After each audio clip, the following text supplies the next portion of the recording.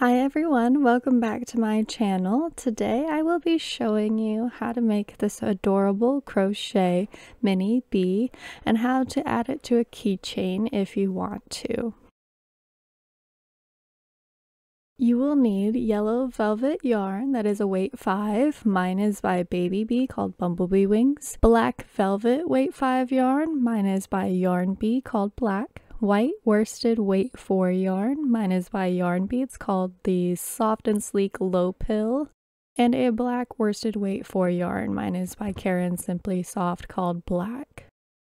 You'll also need some stitch markers, a 5 millimeter crochet hook, a darning needle, tools for the keychain attachment, two 10 millimeter safety eyes, the keychain accessory and a 7 millimeter jump ring to go with it. You're also going to need some stuffing as well. To begin, we're just going to start with a magic ring. We're going to take the yellow velvet yarn and wrap it once around our three fingers like so. Then we're going to wrap it one more time and create a little X in the back of our three fingers. Now we're going to take our hook and go under that first loop. And we're going to grab that second strand and pull it through just like this. Now we're going to twist it And then we're going to go back to that same strand and pull up a loop through that twisted loop. And that's going to be our magic ring. And now we're going to place six single crochets into the magic ring. So we're going to go into the ring and pull up a loop and then we're going to yarn over and pull through both of those loops on our hook. We're going to do that six times. We're going to go in, pull up a loop, two loops on our hook. We're going to yarn over and pull through both. So that's number two. We're going to go in, pull up a loop, yarn over, pull through two. That's number three. We're going to go in, pull up a loop, yarn over, pull through two, number four, and we're just going to do that two more times to have all six on our magic ring. So here we are with all six. Now we're going to pull that tail to close up our magic ring.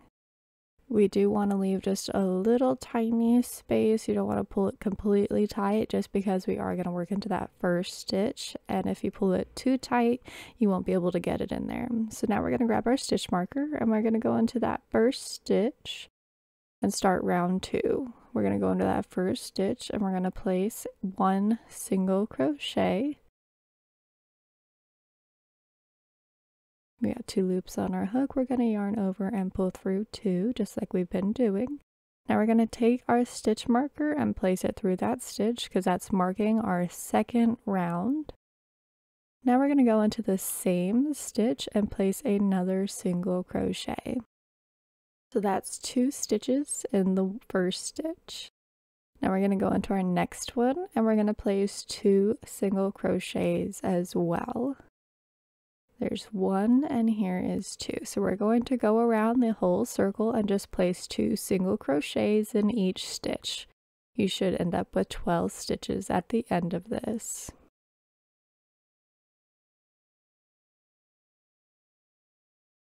Here we are at the end of our second round. I'm just placing the final two stitches into our last stitch here.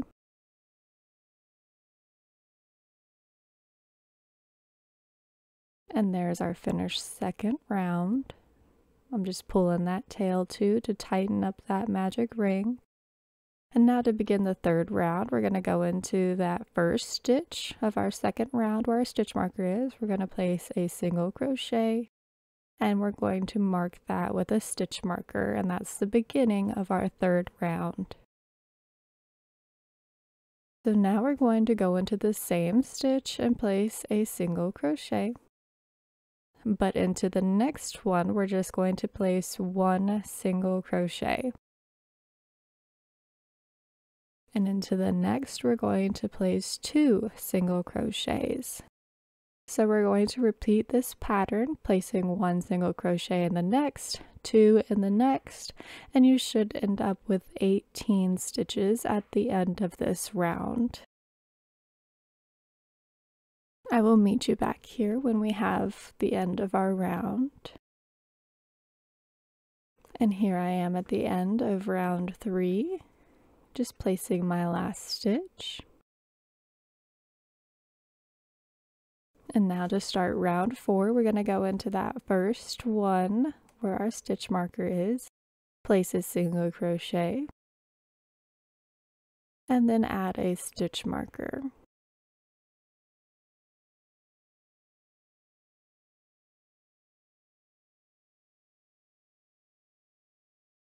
Alright, so we're going to go into the next stitch and place a single crochet and we're just going to place one single crochet in each of the 18 stitches for this round. You should have 18 stitches at the end of this.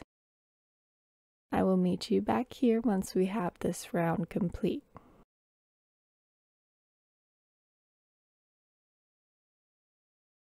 And here I am at the end of this round. So this is going to be where the face of our bee is going to be. We want to turn it inside out like this so the right side of our stitches is facing outward. We're going to just pull up a really big loop because right now we're going to add the eyes. You want to make sure that where you're working is at the bottom of the face. So now we're going to grab our two 10 millimeter safety eyes and we are going to place these eyes in between the second and the third row. So these are the rows here that I'm pointing out, and this is the second and the third. And we're just going to place it kind of in the middle of the face, just wherever you think is appropriate, wherever you think looks good. And we're going to do the same thing to the other side. So these are the second and the third rows. And you want to make sure it's in line with the other eye.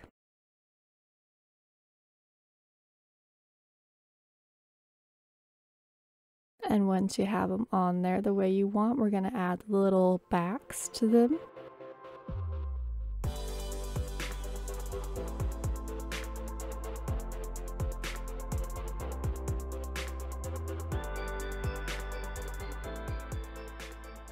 And now we're going to grab that black worsted weight yarn and our darning needle and we're going to add the little smile to our bee before we continue on.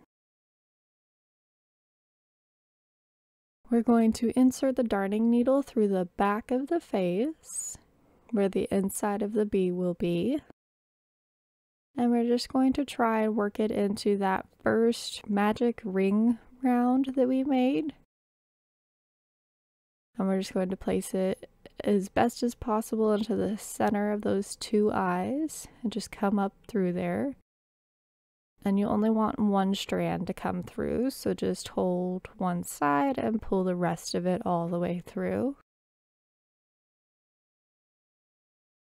And now we're going to go into the other side to finish up that mouth and once you go through that other side, you're going to come up with the darning needle through a stitch that's lower and in the middle of the two stitches. This is going to create the anchor for the mouth so that it's a smile rather than a straight face. So now we have this little line and to make it a smile, we're going to go through that top stitch just on the surface and go right back in to that anchor point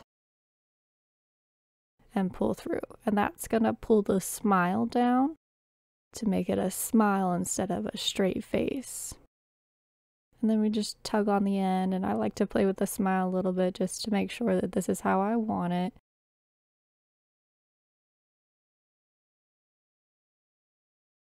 All right, and then once everything is how you like it, you're just going to turn it around and just tie those two ends together to secure that smile on the face.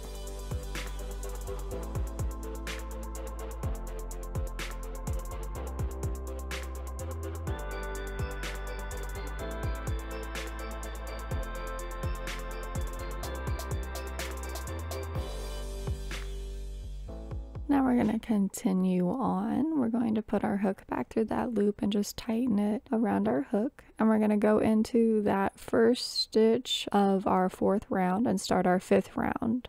So we're going to leave two of the yellow loops on our hook and then we're going to grab that black velvet yarn. And instead of finishing that single crochet with the yellow, we're going to add the black.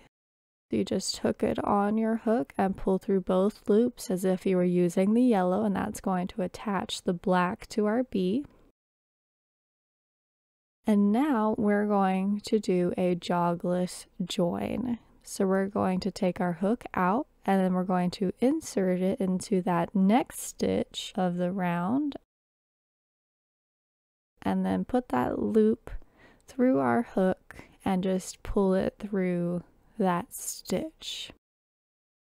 Make sure that your working yarn is behind your hook, but we do this so that the rounds are nice and seamless instead of being jagged and visible. So we're going to take that stitch marker and just mark this first stitch of this round. And we're going to continue doing single crochets just like we have been for the rest of this project. We're just going to keep doing one single crochet in each stitch all the way around. You should have 18 single crochet stitches for this round 5.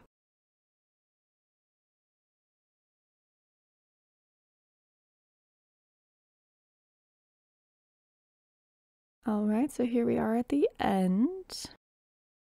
And now we're going to go into that first stitch. We're going to pull up a loop and we're going to leave two loops on our hook. And we're going to go back to that yellow so that we can make our yellow stripe. So we're going to grab that yellow and we're going to yarn over and pull it through both of these loops here and we're going to do the jogless join again. So we're going to go into the next stitch. Place our hook through that stitch.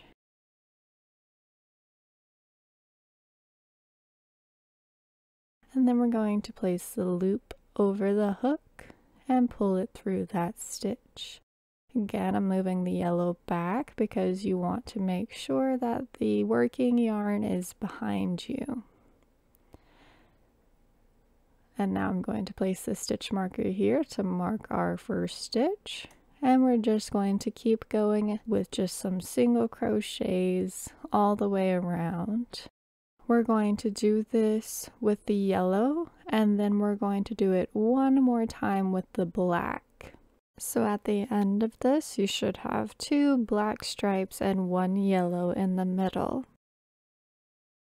So here we are at the end of the black round. We have two of our black stripes and one yellow in the middle.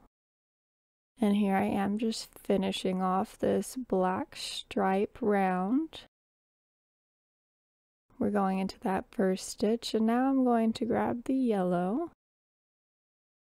But I am going to cut off this black strand because we are done working with the black so we don't need more of it anymore. I'm just going to cut that.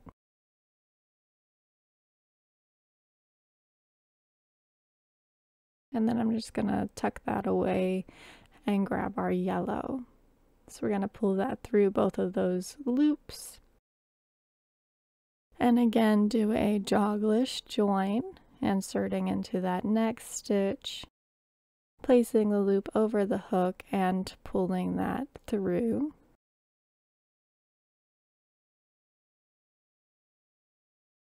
And then moving our working yarn to the back. And we're going to continue. We're going to add our stitch marker in here. I added a stitch just so that I could get my hook out of the way and then I'm going to place my stitch marker in that first stitch to mark the round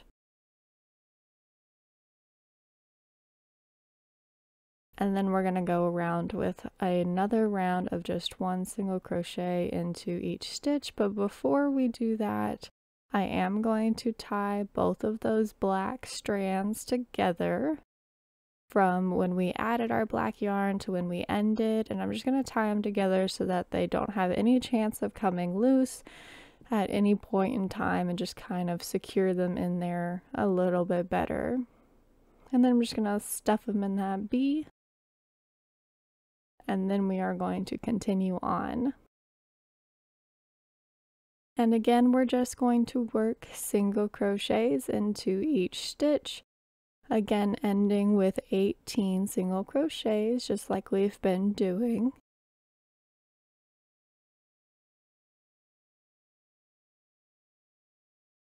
And here I am at the end of the round, finishing my last stitch. And instead of doing a jogless join, I'm just going to complete that single crochet because we're not working with another color anymore. I'm going to take that stitch marker out from the last round and I'm going to add it for this round for our first single crochet there.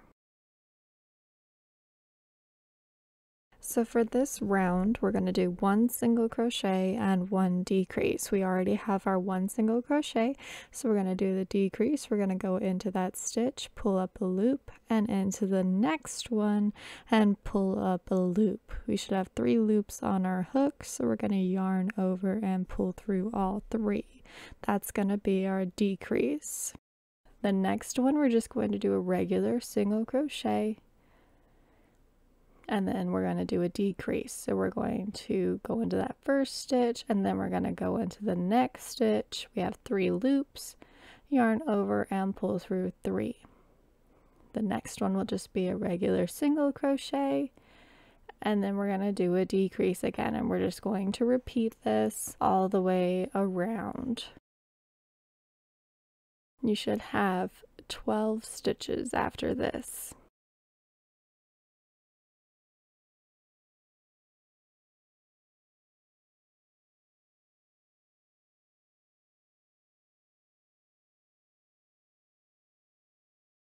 Here I am at the end.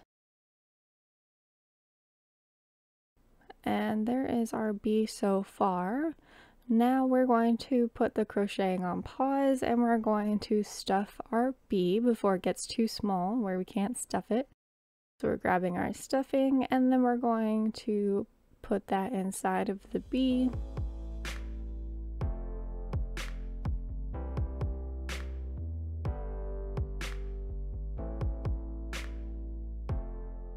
Just make sure he's nice and full. And then we're going to continue on. So for this next round, I'm going to take out my stitch marker so it's easier to work into. And we're going to just do decreases all the way around. So we're going to go into that first stitch, pull up a loop. Then we're going to go into the next stitch, pull up a loop, we have three loops, so we're going to yarn over and pull through all three.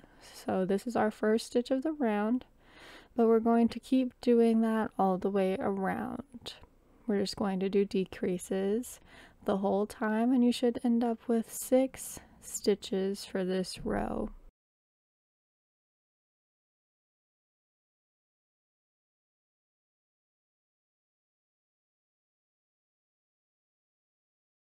Here I am at the end of the row. I'm going into this last stitch and I'm doing a slip stitch. So I'm going to pull a loop through and instead of yarning over, I'm just going to pull that loop through the loop that's on my hook and that is a slip stitch and that's how I'm finishing off this round so that I can leave a long tail and cut that yarn off. And we're just going to pull that through the loop and pull to tighten now we can take our stitch marker out because we don't need that anymore and we're going to take our darning needle and we're going to grab that tail and sew through the front loop of every stitch. So this should be six stitches and we're just going to grab that front loop and we're going to sew that strand through each of the six stitches.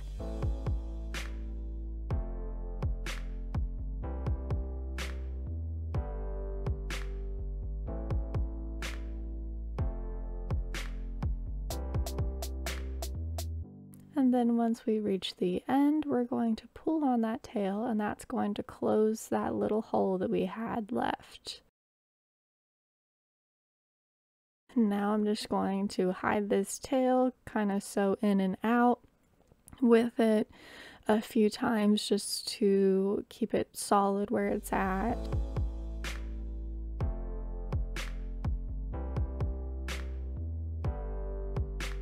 And then once I've gone in and out a few times, I'm just going to go straight down the middle and out the other side of the bee just to hide that tail. And then we're just going to cut off the excess.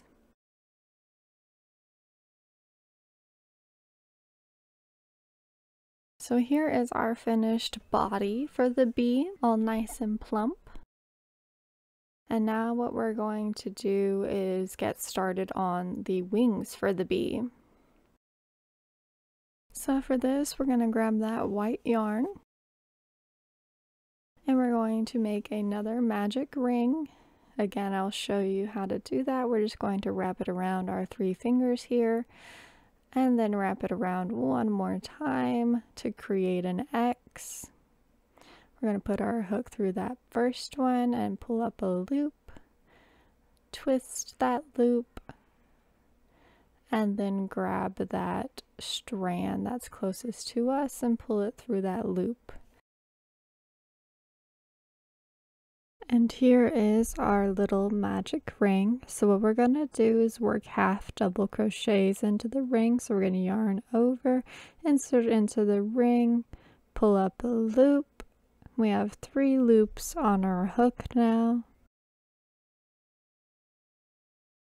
And then we're going to yarn over and pull through all three. And that's a half double crochet and we're going to make six of them. So we're going to yarn over, insert into the ring, pull up a loop. We have three loops on our hook here, so we're going to yarn over and pull through all three. Again, yarn over, insert into the ring, pull up a loop, yarn over and pull through three. Again, we're just going to make six of these. There's number five, and here is number six. So now that we are all done with our six half double crochets, we're going to grab that tail and we're going to pull the ring closed completely. Don't have to worry about an extra space. And now we're just going to slip stitch into that first stitch. So we're going to go into that first stitch with our hook. We're going to pull up a loop and then we're going to take that loop and pull it through the one that's on our hook.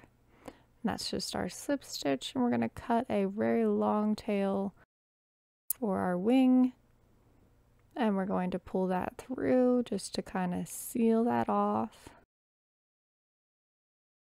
And there is one of our wings.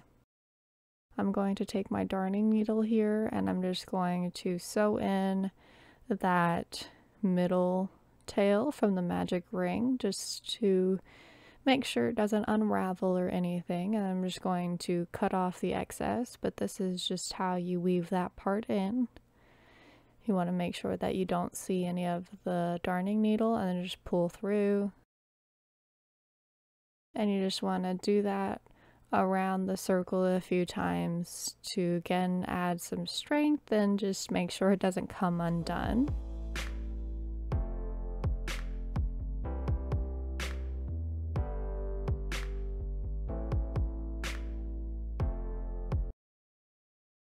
And then once that's all nice in there, we're going to just cut off that remaining strand. And there is our first wing and we need to make two of these. So just repeat this process one more time and I'll meet you back here.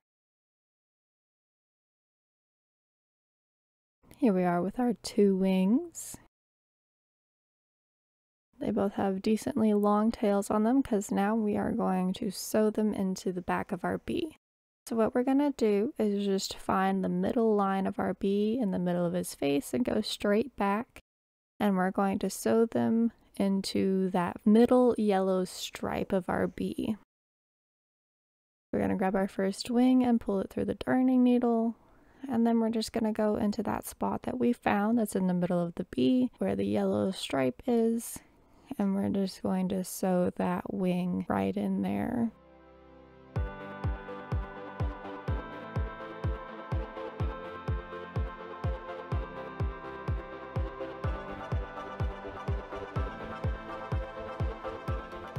Sewing in the wings isn't an exact process. There's definitely many ways to do this. Just however you deem fit, however you find a place. Just make sure that it's nice and solid on there.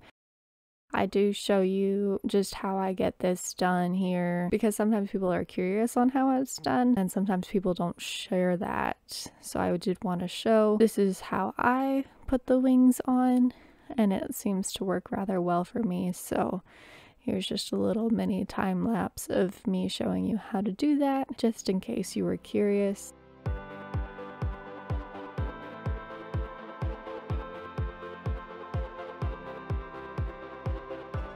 I do knot it at the end here like you see just to give it a little bit more strength on there and then I just hide the tail by going inside of the bee and out the other side and just cutting off the excess.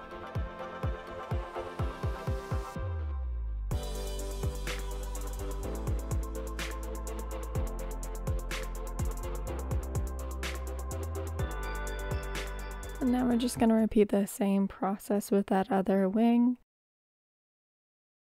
I'm just going to show you where I place it, just right across from that other one into a stitch and then I'm just going to sew that on the same way I did the other one.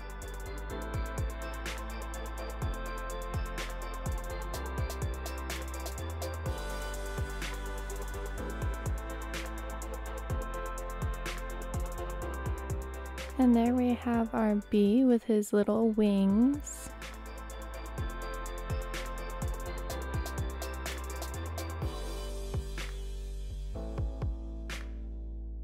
Now we're just going to attach the keychain. The package I got for the keychains came with the jump rings to attach them, but if you don't have that already, you can just use a 7mm jump ring.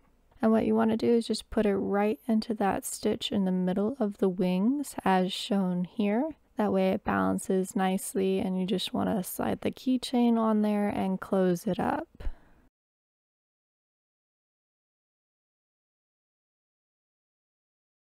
Went out of frame here a little bit, so I do apologize. But there we have it. There is our adorable little bee on his keychain and as you can see with that jogless join you really cannot tell where the rounds ended and began for the stripes so it looks all uniform and just super adorable. Thank you guys so much for watching. I really do appreciate it. If you found this video helpful and you loved it, definitely subscribe for more as I come out with new videos every Tuesday. If subscribing is too much, be sure to drop a like as it lets YouTube's algorithm know this is a good video and shares it with others who'd enjoy it. Be sure to check out this next video and I will catch you guys in the next one.